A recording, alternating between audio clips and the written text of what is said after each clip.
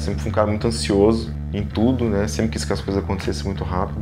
Hoje eu prezo para que as coisas vão mais devagar. Eu quero que o tempo pare, eu quero que o tempo demore para correr.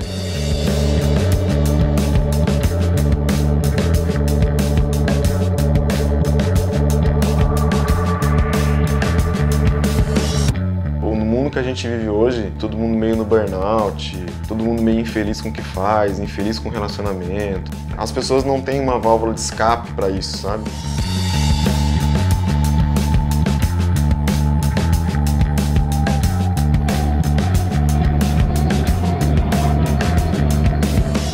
hoje o meu, meu maior desafio é poder vencer isso, cara. Vencer todas essas doenças que estão no mundo.